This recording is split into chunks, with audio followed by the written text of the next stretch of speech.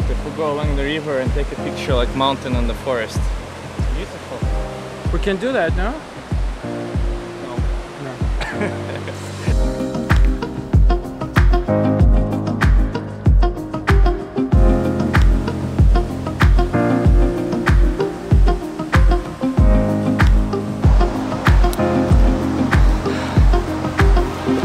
So this is the Mirror Lake. Basically now this is wind and this is the Ripple Lake. So we will rename it uh, like Ripple Lake.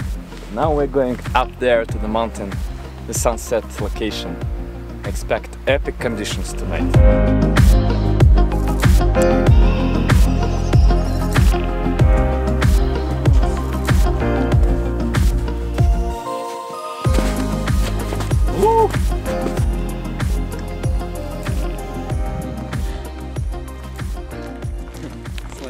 Like relaxed photography, you know?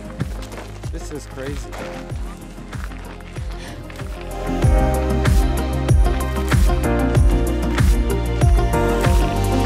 Uh, just say a couple, uh, one sentence to him, and just go to your location and start setting up. So now we stopped on the way in this beautiful canyon and uh, actually it's just one hour till sunset and now I'm planning to find a beautiful spot here in this small park. I see river bend but now it's a bit closed by the foreground by rocks. So I'm trying to go to the edge here and uh, finding some flowers or some plants in the foreground. Let's go and find. Imagine people hiking up there to the top, like sitting there and enjoying sunrise or sunset. Do you think uh, it's gonna be a nice picture from there? Yeah, I think so, especially at sunrise. But there, if there is nothing in the foreground, it's just going no, to. no, no, there are crazy rocks on foreground. Oh, okay. like you can stay on this rock, imagine like a person. Oh, that's true. That's true. So this is like a kind of uh, alternative for uh, sunrise.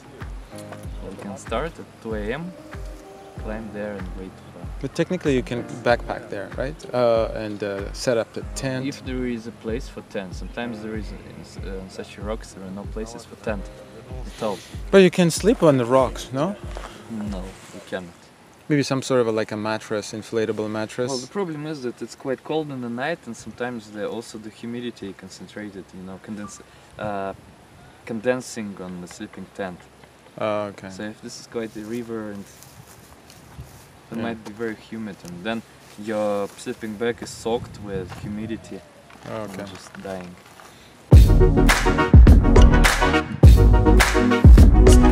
My lens is uh, still wet. You know, it, it was after the shower. Guess why? Because after proxy, proxy falls. When I was.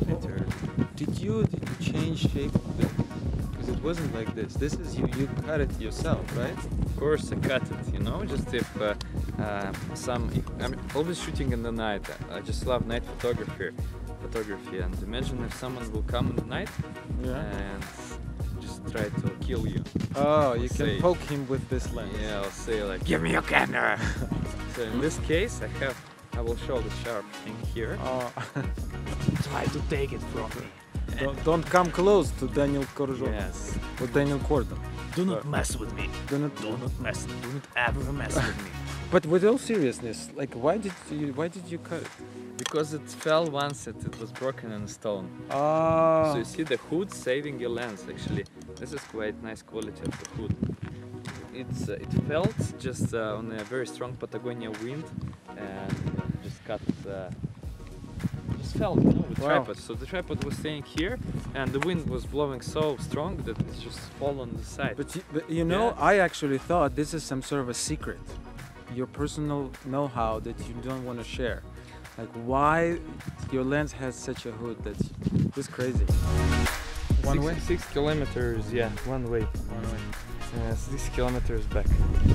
Twelve. And then another six, right? If we go back. Correct? So 12 in total, and then the second time 12.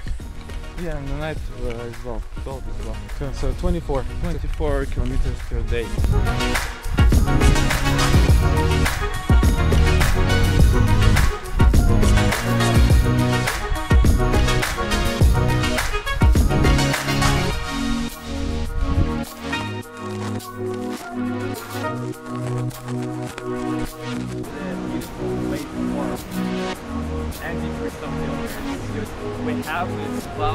Like one second or maybe even up to several minutes. And the first uh,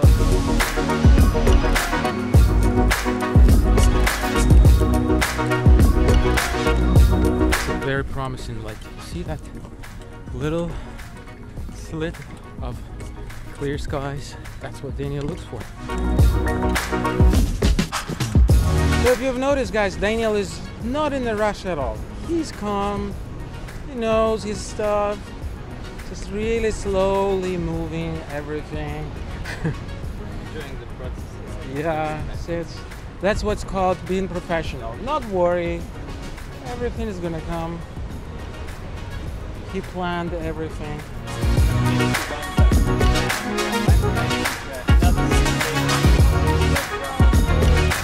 You were saying that when you're shooting into the sun,